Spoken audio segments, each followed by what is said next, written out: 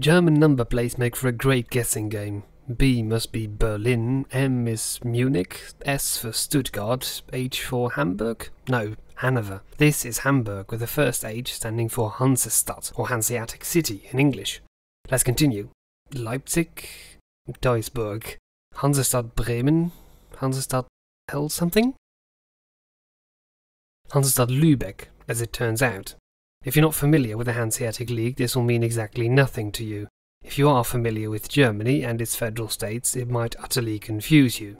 You see, both Hanseatic Hamburg and Hanseatic Bremen are city-states within the German Federation, and unlike Berlin, which became a federal city-state because it became Germany's capital, Hamburg and Bremen were city-states before Germany even existed. Lübeck, to get back on topic, isn't on this list. It isn't a city-state within Germany, but it ought to be, and the reason why is that H on its number plates. You see, Lübeck isn't lying when it calls itself a Hanseatic city. In fact, many consider it the Hanseatic city. The Hanseatic League, for those unfamiliar, was a league of German merchant guilds that traded from their cities on the North Sea and Baltic coasts with everything in range. Hanseatic trading posts ranged from London in the west to Novgorod in the east, and right in the middle were those German cities with their enterprising merchants. Bremen, Hamburg, and Lübeck were all densely populated cities to start with, and so they came to embody the Hanseatic League. Both Bremen and Hamburg had their ports on the North Sea coast, however, putting Lübeck in a prime position to dominate the lucrative Baltic trade, which it duly did, and its wealth and influence increased with it.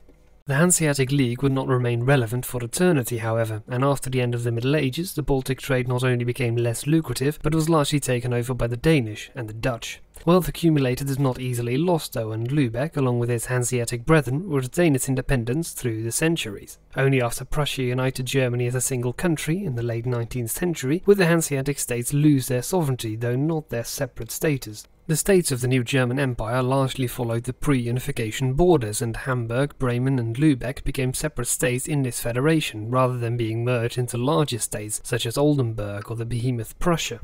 Why then are Hamburg and Bremen still their own states within Germany, proclaiming their Hanseatic history with pride, and is Lübeck not? That question is largely the same answer as the question what happened in Germany between unification and today. Hitler. Yes, it's more unpleasant history, and Robert explains. It's easy to assume that Germany as a whole was drifting towards Nazism in the 1930s, but that's a gross oversimplification. Lübeck certainly wasn't, and when Hitler's NSDAP came to Lübeck to campaign, the city refused them entry. Hitler did come to power, however, and he didn't forget how Lübeck slighted him. The man is hardly known as the most tolerant type, and he took his revenge on Lübeck by taking away its semi-independence and merging it into Schleswig-Holstein in an attempt to eradicate Lübeck's legacy. Sadly, that seems to have worked. Lübeck, then, a city that came to greatness under the Hanseatic League and then martyred that greatness for the sake of standing up to Adolf Hitler.